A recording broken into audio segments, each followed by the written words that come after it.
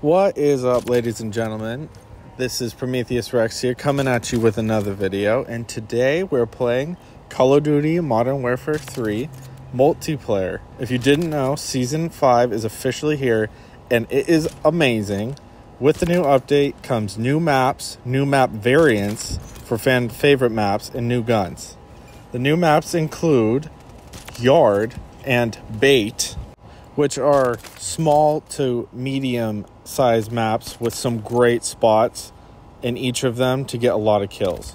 Yard is by far my favorite map on season 5 so far because you can snipe on it super easily as well as uh, hug the corners with a submachine gun or assault rifle.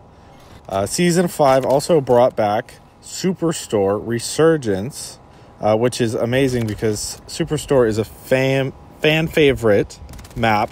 Superstore is the OG go to landing spot from Warzone 1.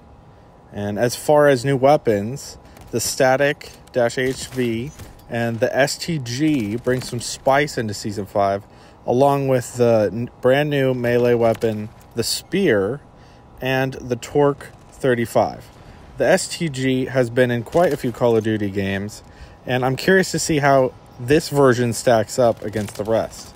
My favorite weapon to use so far in Call of Duty Modern Warfare 3 Season 5 is the Reclaimer 18 shotgun. It's so smooth and balanced, and you can use it on basically every map.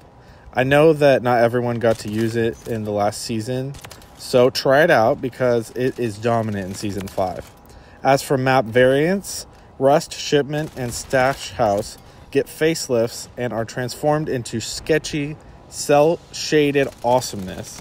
The maps are called Cell Ship, Toon Oxide, and Ink House and have a unique visual texture and visually look really satisfying to play on.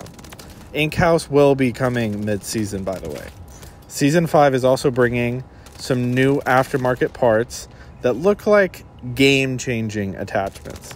Season 5 looks like it could be the best season yet so far, and I'm excited to see what comes with all of the adjustments and new maps.